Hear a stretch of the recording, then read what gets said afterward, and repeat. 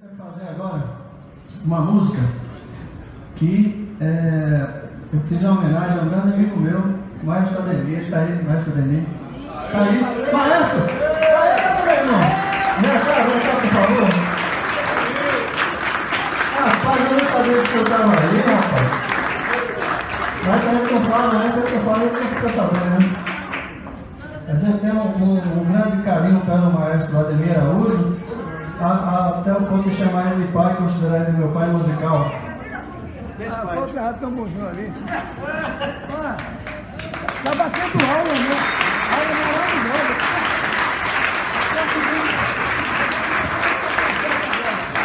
Esse é o maestro Ademir Araújo, conhecido como Formiga, né? Eu conheço há muitos anos e me inspirei para fazer esse frevo. O nome do frevo é Deu Formiga na Cama, foi?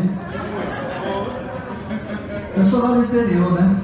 Assim como boa parte dos maestros do frevo, eu venho do interior. Eu sou de lá também. Eu vim lá de Timóteo, estudei música lá na banda 1 de novembro. E lá no interior, se alguém encontrar assim 4, 4 horas, 5 horas da manhã, já pela rua, você pode a pessoa vai escutar a pergunta assim, deu formiga na cama, porque já está acordado uma hora dessa, né? Deu formiga na cama, foi.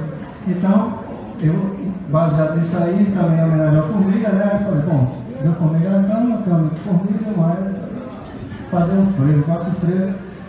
E fazer uma brincadeira aqui, eu vou perguntar para vocês se deu formiga na cama e vocês vão dizer, foi, tá certo?